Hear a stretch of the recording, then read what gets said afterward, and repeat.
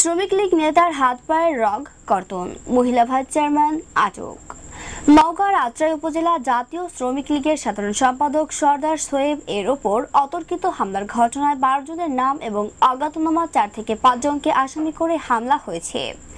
মামলায় আত্রাই উপজেলা মহিলা ভাইস চেয়ারম্যান মমতাজ বেগমকে হুকুমে তার নির্দেশ এক নম্বর আসামি করা হয়েছে।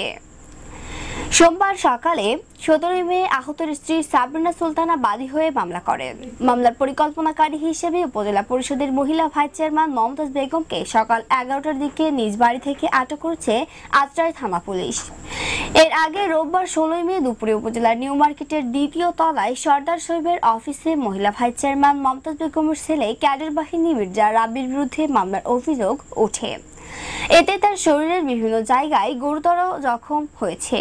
তাকে উন্নত চিকিৎসার জন্য রাজশাহী মেডিকেল কলেজ হাসপাতালে স্থানান্তর করা হয়। সোমবার ভোরে রাজশাহী থেকে উন্নত চিকিৎসার জন্য ঢাকার পপুলার হাসপাতালে নেওয়া হয়েছে। বর্তমানে সর্দার শরীফ অবস্থা আশঙ্কাজনক। আত্রাই থানার ভারপ্রাপ্ত কর্মকর্তা আবুল কালাম আজাদ বলেন, রাজশাহীর বাগমারা উপজেলায় ঠিকাদারি পঁয়ষট্টি লাখ এবং ধারকৃত দুই লাখ টাকা সহ মোট সাতষট্টি লাখ টাকা শৈবের নিকট থেকে পাবেন তারা। মহিলা ভাইস চেয়ারম্যান ও তার ছেলে রাবি মির্জা বহুবার অনুরোধ এবং দেনদরবর করেও টাকা দেয়নি। সর্দার শৈবের সঙ্গে তাদের ব্যবসা নিয়ে আর্থিক লেনদেন ছিল এই হামলার কারণ বলে প্রাথমিকভাবে ধারণা করা হচ্ছে। এর সূত্র ধরেই তার ওপর হামলা হয়েছে।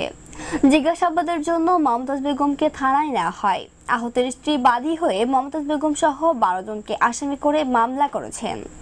মামলার পর সোমবার দুপুরে তাকে নওগাঁ আদালতের মাধ্যমে জেল হাজতে পাঠানো হয়েছে। বিষয়টি নিয়ে তদন্ত করা হচ্ছে। বাকি আসামিদের আটকের চেষ্টা চলছে।